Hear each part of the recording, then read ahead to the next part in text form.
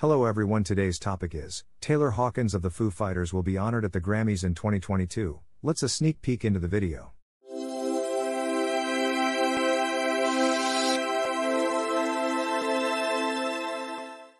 The Grammys in 2022 is still in the works, but the Night of Music will feature a memorial to Taylor Hawkins, the Foo Fighters drummer who died on March 25.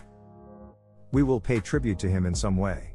We want to figure out what the correct thing to do is be respectful to everyone involved, CBS Executive Vice President of Specials, Music, and Live Events Jack Sussman told Variety. We're being patient. We'll continue to plan till the very end. On March 24th, the Foo Fighters were added to the lineup. However, on March 29th, the band announced the cancellation of upcoming tour dates in an Instagram post.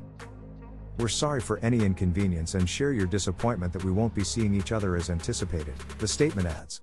Instead, let us use this time to mourn, heal, cling to our loved ones, and cherish all of the music and memories we've created together.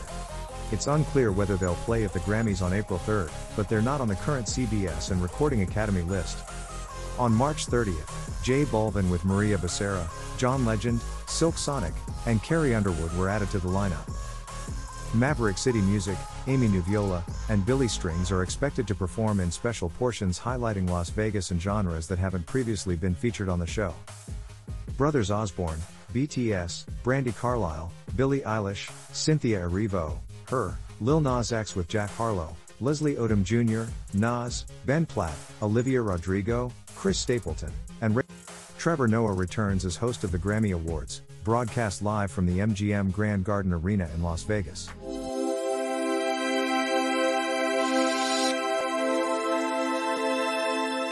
Thanks for watching. Please do like share and subscribe for more interesting videos.